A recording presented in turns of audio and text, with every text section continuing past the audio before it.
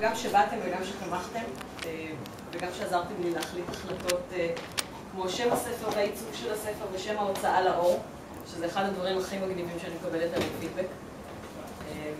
הוצאת זרש. וזה קצת, מצד אחד מוזר לי להרצות בפני אנשים שאני מניחה שכולם קראו את הספר, אבל מצד שני, כפי שדנה אמרה, אנשים אוהבים לשמוע מה שהם כבר יודעים, וגם אולי חלק מכם לא הספקתם לקרוא עד הסוף, אז... ואז כשתקראו את הספר אז יהיה לכם יותר כיף, כי זה משהו שאני כבר... אז ככה אני מתחילה. ערב טוב לכולם, אני דוקטור תמר אילם גינדין. גינדין זה מהבית, אילם זה מאבא של הילדים שלי, הנה דוגמה לאחת. ודוקטור זה מהאוניברסיטה העברית בירושלים. אני קיבלתי את הדוקטורט שלי בבלשנות איראנית, יש דבר כזה, בהנחיית פרופסור שאול שקד, שהוא אחד האיראניסטים המובילים בעולם היום.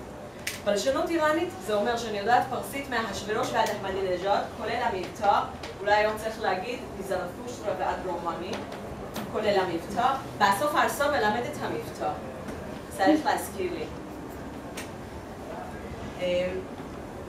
בלשנות איראנית, אני היום יודעת את כל הפרסית הזאת, את אחשוורוש קראתי במקור, את דריווש קראתי במקור, כתבתי עליהם בספר ואתם עכשיו גם יכולים לקרוא אותו, אותם במקור, כי אתם למדתם ידידות מהספר.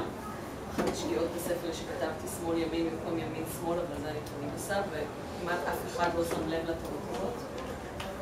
כתבתי ימין במקום שמאל שמאל. אני רוצה לשתף אתכם במשפט הראשון שהבנתי בפרסית. כמה מכם יודעים פרסית מלכתחילה? אוקיי, אז יובל ויובל בצינית לא משתתפים. ועין... מי שיודע פרסית לא משתתף, המשפט הראשון שהבנתי בפרסית היה כזה. שהלה מסכן עובד רסאלה. שהלה מסכן עובד רסאלה. מישהו הבין? חוץ מאלה שיודעים פרסית? קראתם את זה. יש מישהו שלא קרא את זה? לא הבין? הבנת? עובד רס"ר? נכון. ככה זה נשמע.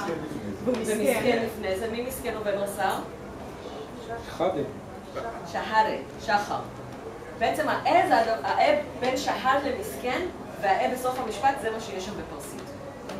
כל השאר זה מילים עבריות, אבל הם נאמרו במבטא פרסי, והם נאמרו בתחביר פרסי, והם נאמרו על ידי דובר פרסית, בשמחה פרסית. הזמנה שלו?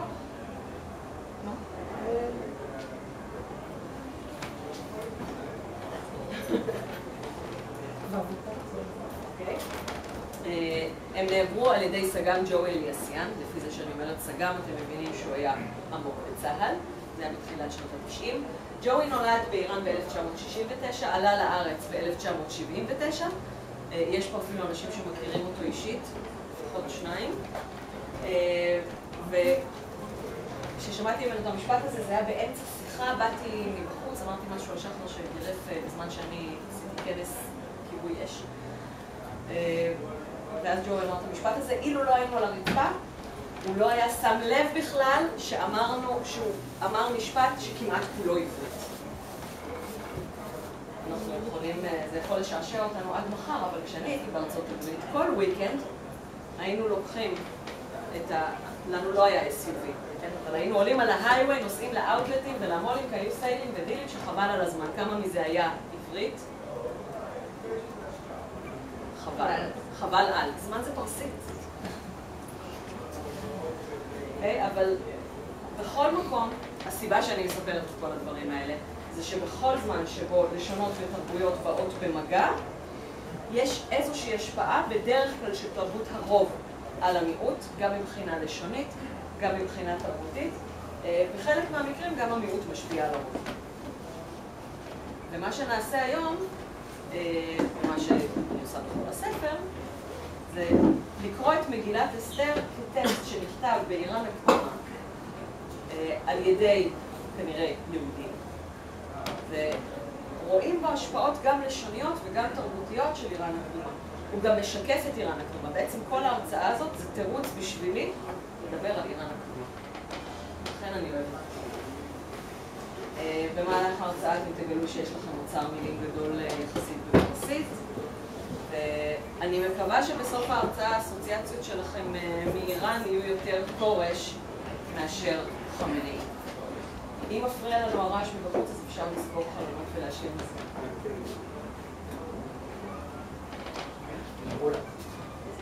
אמ,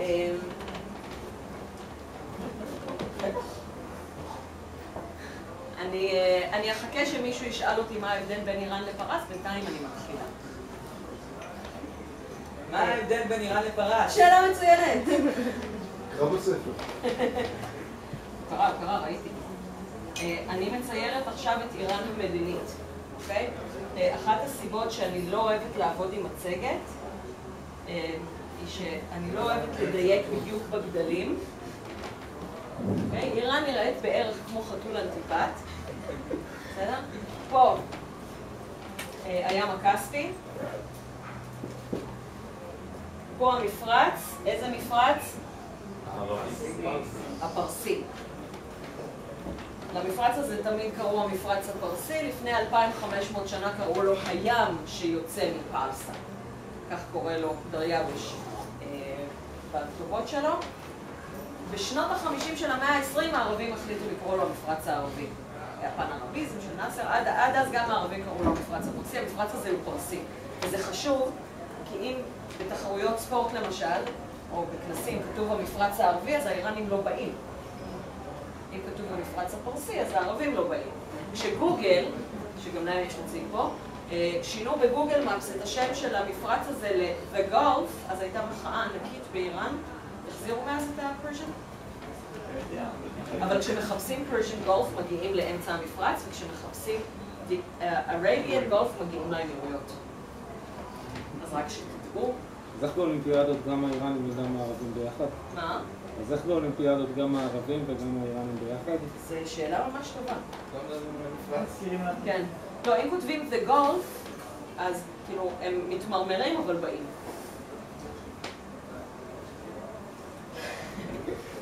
אה, אבל מאוד חשוב לאיראנים שתדעו שהם לא ערבים, מאוד חשוב לערבים שתדעו שהאיראנים לא ערבים. אז מי הם כן? אה, רוצים לעשות אה, חידון עושה פרסים? מי הם כן? פרסים. לא כולם. הפרסים פרסים, פרסה זה כאן.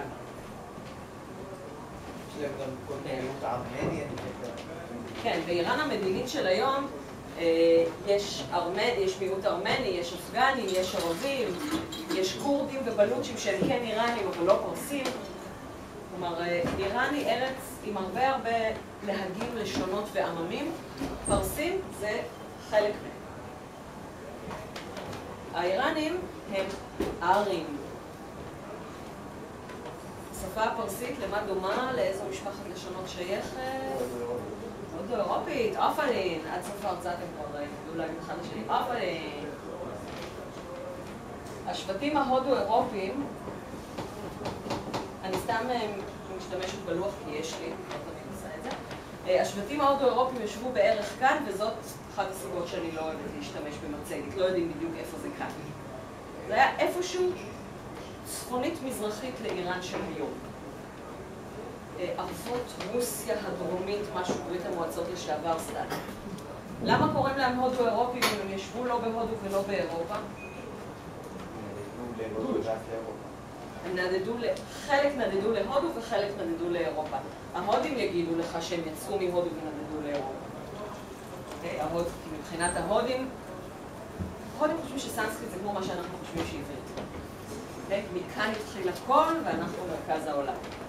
אז יש לי חדשות בשבילכם, כל מקום הוא מרכז העולם בשביל האנשים שחיים.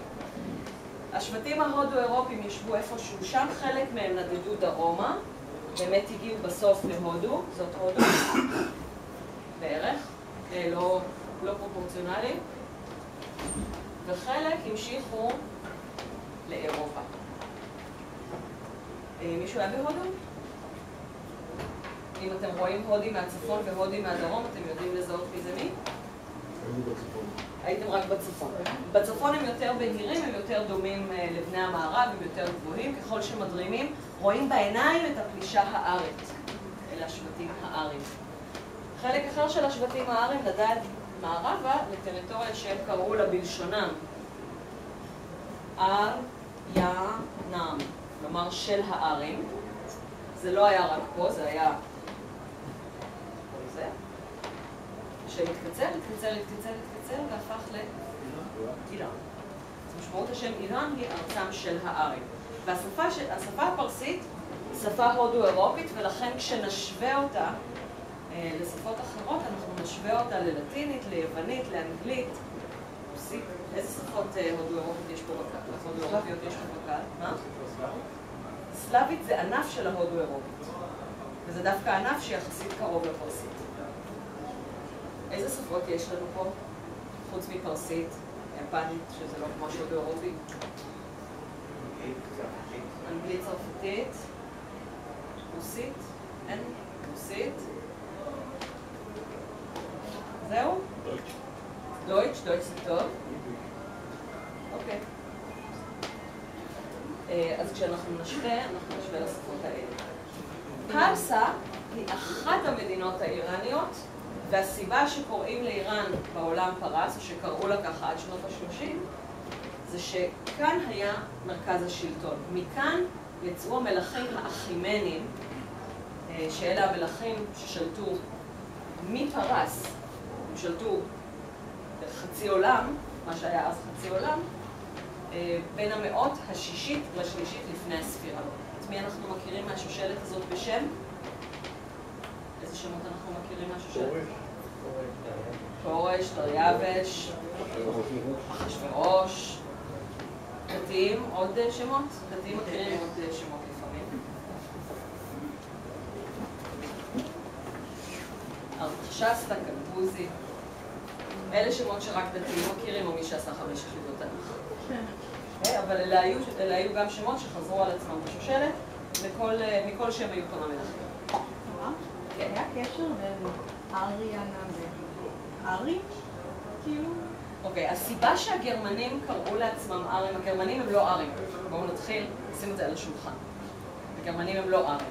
אה, המילה אריה גם נ- זה אציל וזה נגזר מהמילה ארי אורח, כלומר הארים הם מכניסי אורחים. אה, והגרמנים הם גם לא ארים והם גם לא היו מכניסי אורחים. אה,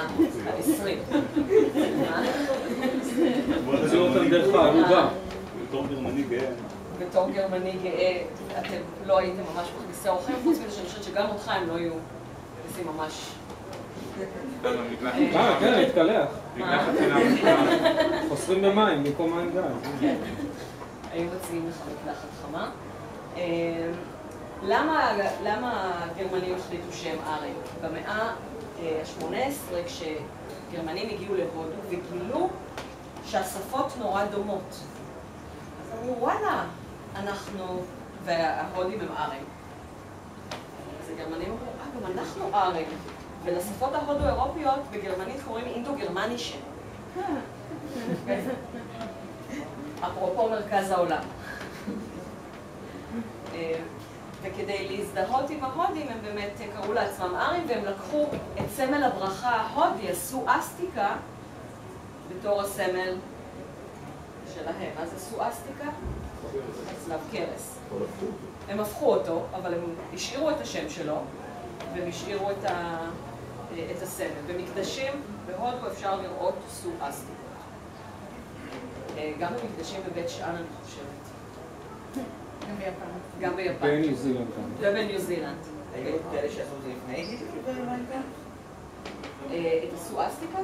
בכל מקום, בהודו זה סמל עתיק. לא, בגרמניה. אה, לא חושבת. אה, בכל אופן, זאת הסיבה שהגרמנים חשבו שהם ארים, וזאת גם הסיבה שהשאה, אה, השאה הרי רצה להיות קרוב למערב, שואלים, אתה יודע משהו אחר, תתקן אותי, בסדר? חופשי תתערב לי. יש לי פה מומחה לאיראן אה, של היום, אז יכול... אה, אה, מכיוון שהשאה רצה יותר להדגיש את הקרבה למערב מאשר את הנטייה הבדלנית את האסלאם, הוא אמר, אל תקראו לנו פרס. כי למה העולם קרא לאיראן פרס? כי במי נלחמו היוונים? בפרסים. אומרת שפרס היא האויב של המערב. ומכיוון שאנחנו רוצים להזדהות עם המערב, תקראו לנו איראן, כי אנחנו ארים כמוכם. ולכן שינו את השם גם כלפי חוץ לאיראן. למעשה האיראנים תמיד קראו לעצמם איראן. יש לי חברה, אה, עדנה קנטי, מספרת סיפורים, היא תמיד מספרת שכשהיא הייתה קטנה היא לא רצתה להגיד שהיא פרסית, כי זה היה בושה, אז היא אמרה שהיא איראנית. כי אז עוד לא ידעו מה זה, וזה לא. אז זה ההבדל בין פרס לאיראן. אה, פה הייתה פרסה, פה הייתה מד"א. איך אנחנו מכירים את מד"א? מדי. נכון. אה, מדי הייתה מרכז האימפריה לפני פרס. לילה אחד חלם קיסר מדי שבתו התינוקת, מנדנה, עליזה, עושה פיפי שמכסה את כל אסיה, והחכמים שלו אמרו לו שזה סימן שהנכד שיצא מאותה מנדנה אה, יירש את מקומו ויכבוש את כל האימפריה. ובמקום להגיד יופי, אז אני יודע שהנכד שלי יהיה יורש גדול ולטפח אותו כיורש, הוא שלח את מנדנה, חיתן אותה עם מלך פרסי קטן מושתן בשם קמבוג'יה, שישב איפשהו פה עשן. מלך מקומי קטנטן חשב שבזה הוא גומר עניין, אבל כשמנדנה הייתה בהיריון, הוא חלם עוד חלום, ובא גפן יוצאת מבין רגליה של מנדנה, הוא מכסה את כל אסיה, אבל אז היא כבר הייתה בהיריון, היה מאוחר מדי, הוא הזמין אותה אליו לארמון, היא ילדה, ילדת בית כנראה, אה, וכשהילד נולד הוא נתן אותו למשרת שלו כדי שיהרוג אותו. המשרת נתן אותו לרועה צאן כדי שיהרוג אותו. לרועה הצאן בדיוק נולד תינוק מת באותו זמן, והוא גידל את כורש הקטן בתור הבן שלו. וסבא גילה את זה רק כשכורש היה בערך בן עשר, ואז הוא כבר אה, לא הרג אותו, הוא גידל וטיפח אותו, וההמשך ידוע בשנת 539 לפני הספירה, כורש הקים את האימפריה הפרסית. אה, לביתו של כורש, קראו בוטאוסה, לבנה של בוטאוסה שהתחתנה עם דריווש הגדול, קוראים אחשוורוש. לא קוראים לו באמת אחשוורוש, אנחנו קוראים לו אחשוורוש. אחשוורוש הוא שמם של שני מלכים באימפריה החימנית. פעם הייתי קוראת להרצאה היה או לא היה. אמ, ואז בהתחלה הייתי מורידה ציפיות, אין תשובה.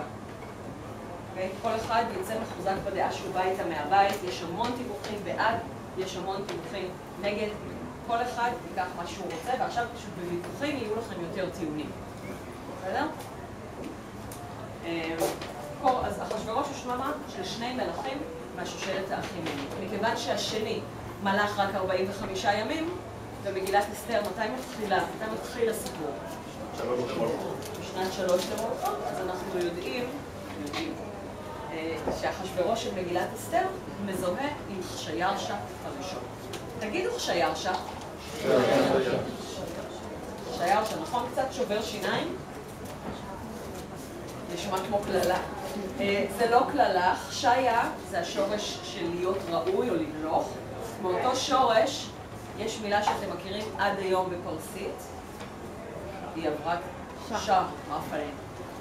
המילה שה זה מאותו שורש, זה להיות ראוי או למלוך, ואלשן או רושן זה אה, או בעל חיים ממין זכר או גיבורים, כלומר הוא הולך על גיבורים. זה שם טוב. אבל חשיירשה קשה לנו להגות בעברית, למה זה קשה? יצורים. צרור יצורים, נכון. יש צרור יצורים בתחילת המילה. צרור יצורים, כלומר שני יצורים רצופים בלי תנועה ביניהם. אה, ענתי בתי, היושבת כאן, היא דור חמישי לבלשניות. אני דור רביעי. אה, סבתא רבתא שלי הייתה מורה לצרפתית בדמשק והיא הייתה אשכנזייה. אה, לסבתא שלי ולדודה שלי, אה, סבתא היה, דודה יש, תואר שני בלשון עברית. מהדור שלי חצי מהבני דודים היינו מורים לעברית. וענת היא בלשנית לפחות מגיל שלוש. אני יכולה לעשות לך שעות בנוכחותה, כי כשאת לא נמצאת אני תמיד עושה לך פשוט. כשענתי הייתה בת שלוש גרנו בגדרה, שלושת הרחובות האהובים עליה היו סטרומה, שפרינצק וסברדלוב. והיא לא ידעה איפה הם. אבל כששאלתי אותה דרך איפה לנסוע, אז היא הייתה אומרת דרך רחוב שפרינצק. ואז כשהיינו שם הייתי אומרת לה, את יודעת איפה אנחנו? לא. אה, אבל היא אהבה את השמות של הרחובות, ואז לימדתי אותה להגיד צרור יצורים. ואז היא הייתה אומרת, למשל, אמא בואי ניסע דרך הרחוב הזה שמתחיל בצרור יצורים. לא הרחוב של הגן שלי, הרחוב שבדרך לאדם. זה סטרומה. אה, אבל השפה העברית, הקלאסית לפחות, לא אוהבת צרורות יצורים. היום אין לנו בעיה להגיד, סטרומה שפרינצק ספרדלוב הולך, חשיירשה עדיין קשה. יש שתי דרכים להתמודד עם צרור יצורים. אחת להוסיף א' פרוסטטית. א' פרוסטטית זה לא מפרוסטטה. בדיוק לפני ש... לפני ההרצאה דיברתי עם גלי צה"ל על סרטן הפרוסטטה של חמני. אז לא, זה לא מפרוסטטה, זה מפרוטזה. מה עושה פרוטזה? אה, מה עושה פרוטזה? תומכת, עוזרת, אה, עוזרת ללכת, אז א' פרוסטטית עוזרת לבטא. אה, תגידו עכשיו אחשיירשה. נכון יותר כאן? אה, יש כיסאות גבוהים ויש כיסאות נמוכים, ויש גם פה כזה, אם אתם בקטע של לשבת על... אה, שטחים. אני אני חשבתי שפה יהיה פופולרי. טוב, אולי אם היינו בגן. מה? אולי אם היינו בגן. מה, יש פה ילדים? באילן. אה, תסתכלו בתפילות אה, יום שישי וכאלה. מה זה? זו המיטה שלך בדין השוד. אבל כמה שליחים פרסים? לא שליחים פרסים. מודה. מודה. הייתי צריכה להשקיע יותר. זה מחצנות אה, מקומיות. אנחנו היינו בשיירשה, אח שיירשה, א' פרוסטטית, וכמו שקורה הרבה, אה, י' מתחלפת בו', כל מי שראה אי פעם כתב יד, ומגילת אסתר הייתה קיימת רק בכתב יד עד שהמציאו את הדפוס. י' מתחלפת עם ו'. אה, את הניקוד ניקדו את המקרא רק יותר מאלף שנים אחרי שהוא נכתב, וכך אחשוורשה אה, הפך לאחשוורוש. בשפות אחרות השם שלו מתועד, מתועד גם אחשיירש וגם חישיירשי. איזה שפות אחרות זה? אה, יש בארמית, באכדית, אה, באילמית. אה, אנחנו תכף נגיע לאילם. אה, אגב, ההרצאה הראשונה על מגילת אסתר, הייתה זאת ששאול שקד נתן אה, ב-1996, כשביקשתי ממנו בפעם הראשונה, הגענו כמעט עד סוף פרק א'. אז לא להתפלא. אנחנו תכף אה, נגיע לאיך קוראים לזה שם, חישיירשי. יש אה, בעיה קטנה קטנה עם הזיהוי של המלך בתרגום השבעים, אה, שהוא תרגום, המק- התרגום אחד הקדומים או הקדום ביותר, יש קצת מחלוקת בין החוקרים, לשפה זרה, במקרה הזה ליוונית. תרגום השבעים, המלך הוא לא אחשורוש, הוא לא קסרקסס, כמו שקוראים לאחשורוש ביוונית, הוא ארטקסרקסס. ארטקסרקסס, איך קוראים לו בעברית? ארתחשסתא. ארתחשסתא או ארתחשסתא, לפעמים כותבים את השם שלו ככה ולפעמים מנקדים, לפעמים ככה ולפעמים ככה. הוא בנו של אחשורוש, הוא גם היה אה, מלך גדול, הוא גם הלך מספיק זמן כדי אה, שמגילת אסתר תוכל להתרחש בזמנו. אה, אחת הסברות של החוקרים זה שזה אומר שהייתה להם נוסחה אחרת ושזה סיפור יפה, אז מה זה משנה על איזה מלך מספרים אותו? מה שאומרים חז"ל זה קראו לו כורש כי מלך כשר היה, וקראו לו אה, אחשורוש, וקראו לו אה, ארתחשסתא על שם מלכותו, וקראו לו גם דריווש. בקיצור, לכולם קראו בכל השמות. אנחנו יודעים שזה לא נכון, כי כל מלך כתב בדיוק מי הוא ומי אביו, ולכל מלך היה שם אחד. לפעמים החליפו לו את השם אחרי שהוא הפך למלך. אבל בתור מלך לכל אחד היה שם אחד. אה, אם אנחנו רוצים בכל זאת ליישב את הסתירה בשמות, אני פשוט אומרת, תרגום ה-70 נעשה 100-200 שנה אחרי שנכתבה מגילת אסתר, הם ראו א', זה נראה לנו דומה לארטקסרקסס. אה, אז אה, ייי, סיימנו עם המלך. הוא אחשורוש, המולך מהודו ועד כוש. תגידו לי אם מפריע לכם. לי אין בעיה עם... אה, אה, מהודו ועד כוש, גם אחשורוש וגם אבא שלו דריווש מונים את המדינות שהיו תחת חסותם. זה לא מגיע אף פעם למאה ה-27, אבל יש כל מיני רשימות והיו תת-רשימות, אבל בכולם יש, כולם מתחילים, קודם כל, מדע, הראשונה, זה הכי חשוב שהם שולטים במדעי, כי זאת הייתה האימפריה הקודמת. פובג'ה, אילם, אה, אנחנו תכף אה, נגיע לאילם, היא גם הייתה אימפריה או מדינת ממלכה חשובה לפני כן, ולכן גם היא חשובה, אבל בכל הרשימות יש גם הינדוש וקושייה. אני נורא אוהבת את השם הינדוש. מה זה הינדוש? קושייה, כוש. אה, אז הינדוש זה בעצם עמק האינדוס, ומכיוון שהפרסים קראו לו הינדוש, אז זה נהיה השם של כל הודו. זה בעצם רק הודו נקראת על שם החלק הזה. ההודים עצמם לא קוראים לעצמם הודו, או, או אינדיה או משהו כזה, הם קוראים לעצמם פארט. אה, וקושייה זה אפריקה, דרום מצרים, סודאן. יש לי מפה של העולם העתיק בספר, אני ממש לא טובה בלמוקם אה, מדינות שלהם. משהו כזה אפריקאי, זה באמת היה היקף האימפריה, ממזרח לדרום מערב. ואיפה, מתר... איפה, מה יש לנו, מה האירוע הראשון שמתרחש? משתה.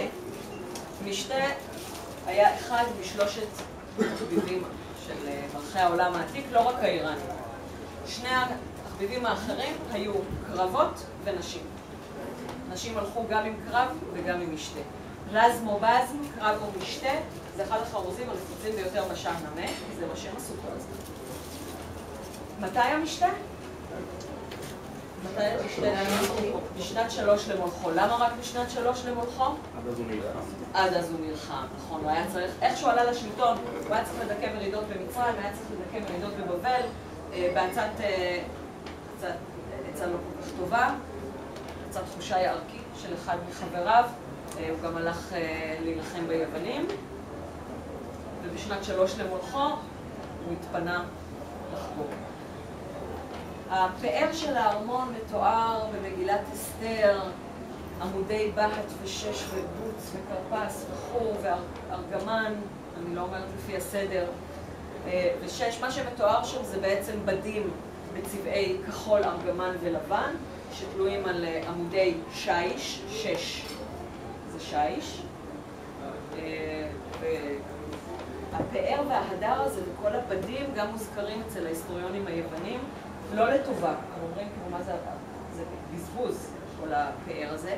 מה שעוד ההיסטוריונים היוונים לא כל כך אוהבים, זה את זה שהפרסים שותים בכלי זהב. מה פתאום שותים בכלי זהב? אנשים נורמליים שותים בכלי חרס. אבל קטסיאס, היסטוריון שהיה בארמון של נכדו של אחשוורוש, מתלונן שאצל הפרסים רק מי שהמלך בז לא יכול לשתות בכלי חרס, אנשים רגילים שותים בכלי זהב. ואכן אומרים והשקות בכלי זהב, בכלים, מכלים שונים. אז זה, זה מתואר מאוד מאוד אמין, כל המשתה הזה, וגם השתייה כדת. אבל לפני כן, איפה נערך המשתה? בחצר גינת ביתן המלך, אשר איפה? בשושן הבירה. אה, שושן הייתה באמת אחת הבירות של המלכים האיראנים. פרסים תמיד רוצים להרוג אותי כשאני אומרת, המדן היא לא שושן. פרסים אוהבים לזהות את המדן עם שושן, אסתר ומרדכי קוראים להמדן, אבל המדן הייתה בירת הקיץ. היא גם מוזכרת בתנ"ך בשם אחמתה. זה לא שהיא לא הייתה חשובה, היא פשוט לא שושן. לשושן קוראים שוש, יש שם תל, היא נמצאת בחוזיסטן, שזה המחוז החם ביותר באיראן. ולכן היא בירת חורף. כמה זמן אורך המשתה? 80 ומעט יום. כמה זה 80 ומעט יום בערך? חצי שנה. למה רק חצי שנה? בקיץ יהיה הרבה. נכון, בקיץ צריך לעשות את המשתה בהחמתה. אה, לפי ההיסטוריונים היוונים אנחנו יודעים שפחות או יותר מדי יום היה משתה, הם האכילו והשקו 15 אלף איש. אלף איש מדי יום. מכיוון שאנחנו נמצאים במקום טבעוני, אני לא אספר לכם כמה חיות קיפחו את חייהם מדי יום בחצר המאוחר. הסירובים האלה אמינים? זהו, הרי אמרנו אה, שהיוונים הם גם אה, לא נכון. כל כך אוהבים את כל. אה, היוונים מאוד... זאת, זאת שאלה ממש טובה, כי היוונים לא פספסו שום הזדמנות ללכלך על הפרסים. חלק מהאירועים שמתועדים אצל הרודוטוס נשמעים קצת כמו מיתוס. אז אה, אנחנו לא באמת יודעים. אלה המקורות שיש. אה, האמת היא שבאנציקלופדיה איראניקה למשל, שהיא המקור הכי אה, גדול לידע מהימן על איראן, משתמשים גם בתנ"ך וגם במגילת אסתר בתור מקור מהימן אה, למה שהיה. כלומר, אנחנו צריכים לקחת את כל המקורות שיש לנו ולהצליב. אה, והיוונים, אותו קטסיאס לא כל כך שנא יוונים, הרודוטוס אה, לא, לא שנא כל כך פרסים, הרודוטוס מאוד משתדל ללכלך על הפרסים. הוא בערך בן זמנו של אחשוורוש. משהו לא מסתדר, פרסים, בזבוזים. לא היו עוד אה, חומרים טובים מהאזור שנשארו? שמשתמשים בתנ"ך, מגילת אסתר וכאלה? אה, לא? משתמשים, אני, אני אומרת שמשתמשים גם, משתמשים גם בדברים אה, בבליים, יש מקורות אילמים, אבל רמת האמינות של כל המקורות, מי כתב היסטוריה? מנצחים. המנצחים, או מי שרצה להישאר. אצל הבבלי, המקורות הבבליים אנחנו יודעים פחות או יותר אה, מי עלה לשלטון מתי, זה עוזר תאריכים. אבל באמת, גם היום כשכותבים היסטוריה זה לא אמין. אם תקראו דיווחים על מה שקרה פה באז- באזור שלנו ב-1948, אז זה תלוי מי כתב את זה. זה לא אותם אירועים. אז אה, כל דבר בערבון מוגבל פשוט צריך להצליח. אז אני לא יודעת אם באמת קיפחו את חייהם כל אלפי אה, בעלי החיים כל יום, אבל בהחלט היו משתאות מאוד אה, ראוותניים, באלף ובו', ומאוד בזבזניים, וזה היה אה, אחד, ה... אחד התחביבים של מלכי העולם העתיק. והשתייה, כדת. דת היא אחת המילים שאתם יודעים, פרסית עתיקה. פרסית עתיקה, דאטה. למה דומה? לדידה. שמה זה? נתונים. כשאני מרצה לאנשי, אה, לאנשי הייטק וביוטק, אז כולם ישר אומרים לי נתונים. כשאני מרצה לאנשים ממדעי הרוח, אני צריכה קצת אה, לעבור דרך מידע ותאריך עד שאני מגיעה. אה, data בלטינית זה נתונים, זה רבים של datum. בפרסית עתיקה, דאטה זה באמת נתון, כלומר מה שניתן. הסיומת תא סיומת של בינוני פעול. בינוני פעול. פעם הייתי מתחילה את ההרצאה בזה שאמרתי שלפי הקונבנציות האורטוגרפיות של מגילת אסתר אפשר לתארך אותה למאה השנייה-שלישית. ולמה התחלתי בקונבנציות האורטוגרפיות? כדי להמחיש שאם אני אומרת, אם אני משתמשת במונח שלא ברור למישהו, אז תשאלו, כי אני לא תמיד זוכרת מה יודעים אנשים שלא עשו דוקטורט בבלשנות, ומה לא יודעים אנשים שלא, שלא עשו דוקטורט בבלשנות. אה, קונבנציות אורטוגרפיות אלה מוסכמות כתיב. ואני מאוד משתדלת כן להנגיש אה, את החומרים, אבל אם, אמר- אם אני אומרת איזה משהו כזה, לא, אז בינוני פעול זאת אחת המילים האלה שלא כולם זוכרים מהתיכון. אה, זה שם תואר שהוא מצב שהוא תוצאה של פעולה. למשל, למה החלונות פה פתוחים? מישהו פתח אותם. אוקיי? ולמה החלון הזה סגור? מישהו סגר אותו. מישהו סגר אותו. אוקיי. ולמה החוק נתון? כי מישהו נתן אותו. מי שנתן אותו זה המלך או האל. אז מה שניתן על ידי המלך או על ידי האל זה החוק. מחבר המגילה יודע שדת זה מה שניתן. איך אנחנו יודעים שהוא יודע שדת זה מה שניתן? יש לו משחקי מילים. והדת ניתנה לשושן הבירה, נכון? בהינתן דת. אז מחבר המגילה יודע את האטימולוגיה, אטימולוגיה זה מוצא המילים, והוא גם משחק עליה. אנחנו נראה עוד שני מקומות שהוא עושה את זה. אה, השורש דה, דו, זה שורש שהוא מאוד נפוץ בשפות הודו-אירופיות לנתינה. איך אומרים אה, תרומה באנגלית? דוניישן, מאותו שורש. אה, איך באיטלקית? דארה. עוד שפות? איך? פורטוגזית דאר. חסה? היה? אה, לא שאני למדתי. אוקיי, איך אומרים לתת בצרפתית? זכרת? אה, דונה. דויטש? היה כאן דויטש. כן. כן? איך אומרים בגרמנית? To give- אה, גיבן. גיבן. לא קשור. אה,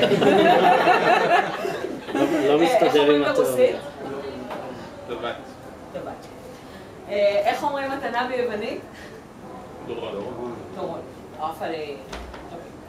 אה, אז ברוב השפות ההודו-אירופיות יש לנו דה או דו בתור לטין. אה, אז זה על דת, חוק, מה שניתן. אם השתייה כדת, אז מה זה אין. מה?